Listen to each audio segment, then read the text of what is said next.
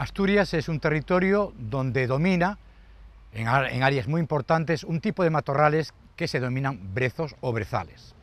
Los brezales están constituidos por distintos géneros de la familia de las ericáceas, fundamentalmente tres géneros, cayuna, con la cayuna vulgaris, Davoecia, con la Davoecia cantábrica, y distintas especies del género Erica.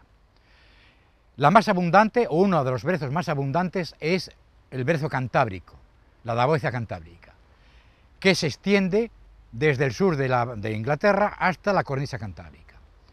Y se caracteriza porque es el brezo que mayores flores tiene, de, tamaño, y además las hojas, que son grandecitas en relación con los distintos brezos, o los restantes brezos, siempre son verde intenso por la cara superior y blanquecinas por la cara inferior, debido a que están cubiertas por un tomento bastante denso.